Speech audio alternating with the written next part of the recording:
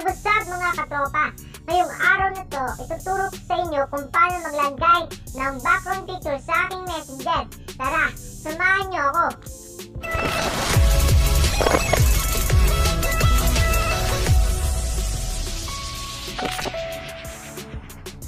Pumunta lang tayo mga katropa sa ating Google Play Store.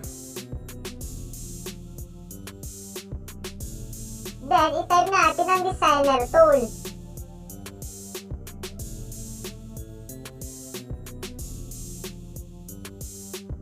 Pag na-type nyo na, hanapin nyo lang ang ganitong logo. Then, install.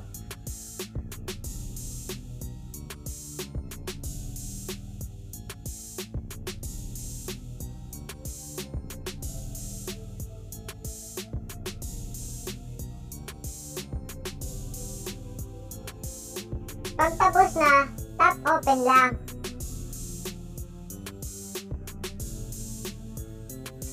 Then, puntahan niyo yung mockup overlay.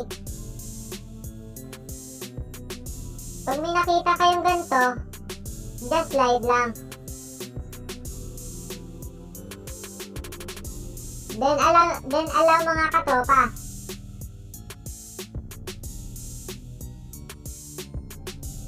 top portrait.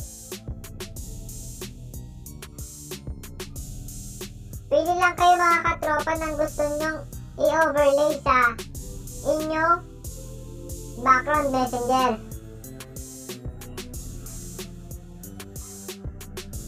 Then opacity. Bawasan nyo lang ang opacity ng inyong background.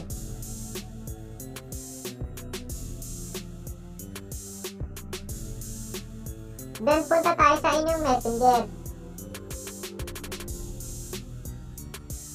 Oh, di mga katropa?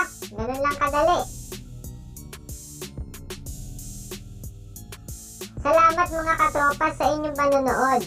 Sana magustuhan nyo. Huwag nyo kakalimutan mag-like and share at mag-subscribe. I-click nyo na rin ang notification bell para lagi kayong ma-notify sa tuwing a-upload ako ng aking video.